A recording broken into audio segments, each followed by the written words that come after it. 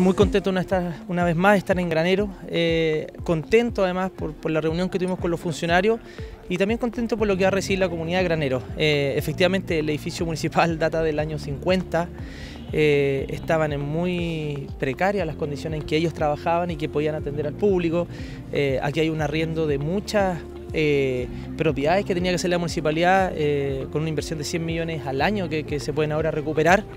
Eh, así que por lo mismo recibimos desde la Universidad UMCE eh, la entrega de este inmueble que está en concesión para ellos y junto a Bienes Nacionales gestionamos rápidamente para que estas nuevas instalaciones que además están impecables puedan ser utilizadas desde un futuro muy próximo por la municipalidad, ya sea para atender al público, para que los funcionarios puedan trabajar dignamente.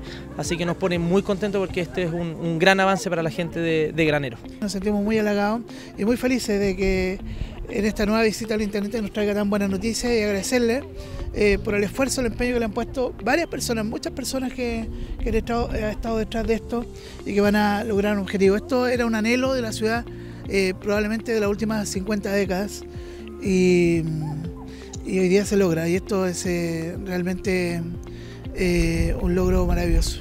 Bueno, este es un recinto de más de eh, una hectárea, ya eh, además de 2.000 metros cuadrados de construcción, que está en bastante buenas condiciones, porque hasta hace muy poco era utilizado por la UMCE como universidad acá en la comuna, es un edificio que fue utilizado por más de 10 años y que tenía una concesión a largo plazo de 25 años.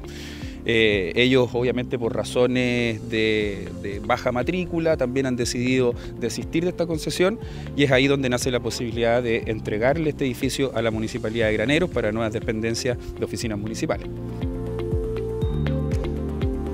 Intendencia Región de O'Higgins. Sigue nuestras redes sociales. Instagram, intendencia.o'higgins. En Facebook, Intendencia O'Higgins. Y en Twitter, arroba Intendencia. O en la web, en www.dellibertador.cl. Gobierno de Chile. Chile, lo hacemos todos.